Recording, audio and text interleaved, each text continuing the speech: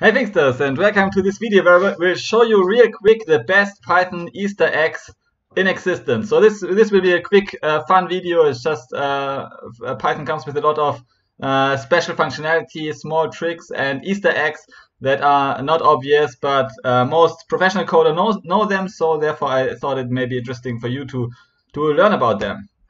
Okay, so let's open a Python shell.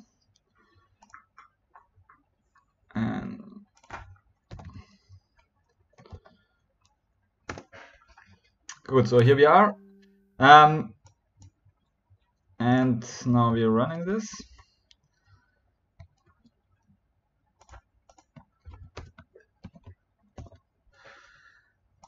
Okay, so the first Easter egg I want to show you is you type in in any Python shell import this.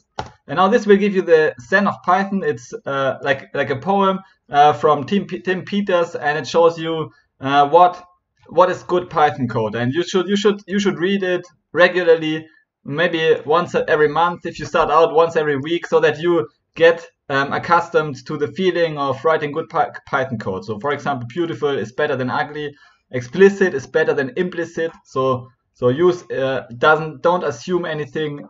use variable names, for example, that are easily understandable. Uh, use simple code rather than complex code.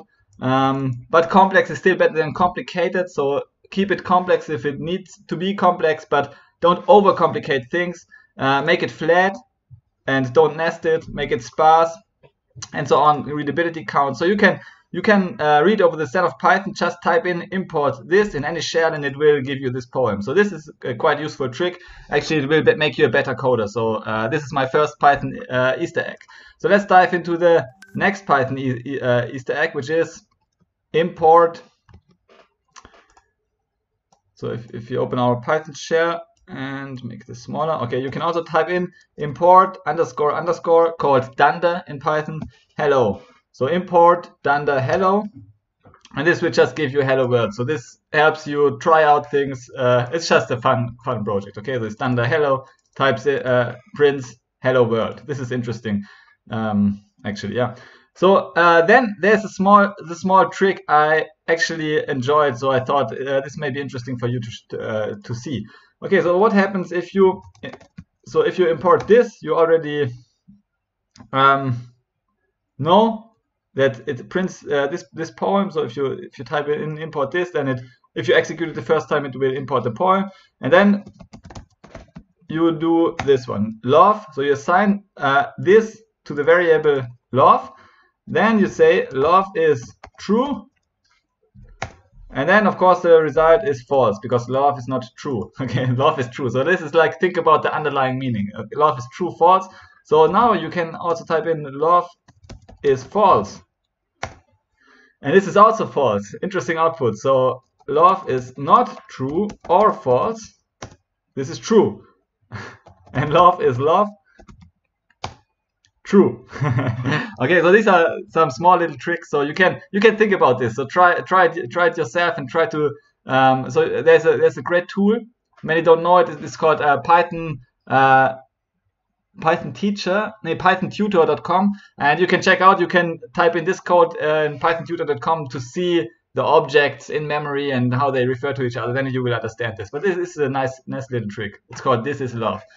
Uh, good. Then. Um, Another trick that doesn't unfortunately work in my editor is uh, that you can you can use really cool variable names. Okay, so you can use so if you type in you can import p and then you can really use the p symbol. So you can use any Unicode symbol in Python as a variable name in general. Okay, it even works here. Yeah, you see. So I have a very cool Unicode symbol and I assign uh, this symbol to the very to to the so the value p. It's a constant. It's a uh, float constant. Now we assign this constant to our Unicode character uh, Unicode variable name p. So this is a really cool variable name. You can use it in your code. So now you can do something like this. You can calculate area is uh, r square squared, for example, times p. So you can use really cool variable names. All the Unicode variables you can use basically, or most of them. Um, it also depends on the editor. Some editors actually cannot handle it, but Python can handle it, so Python understands it in general. Okay, um, then another cool trick is to, to type import anti-gravity. If you type import anti-gravity, then it will open a browser here and give you an XKCD um, comic. So I, I, give you I'll give you a moment to read the comic. you can also pause the video if you want the uh, the comic, or you can just type in import anti-gravity into your Python shell, then you can read the uh, comic.